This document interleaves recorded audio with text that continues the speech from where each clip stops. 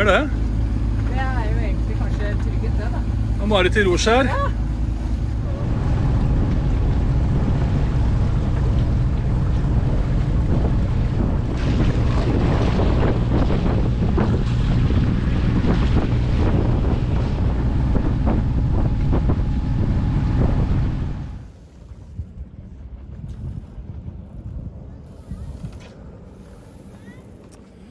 Ja, nå er vi på Nesna og Nå har jeg med Marit her.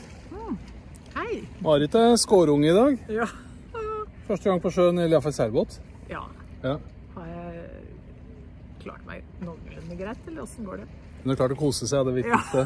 Ja. Ja, det var også et svar. Ja. Mm. Klokken jeg. er Nå er klokka Den er en øh, ni kvart over ni. ni. Kvart Og det er klart at eh, sola står fortsatt ganske høyt på horisonten her.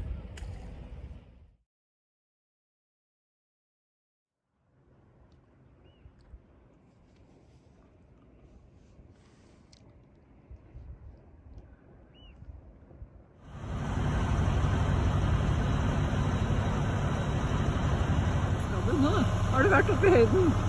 Til filleren der til. Ja, det er slitsomt, ass.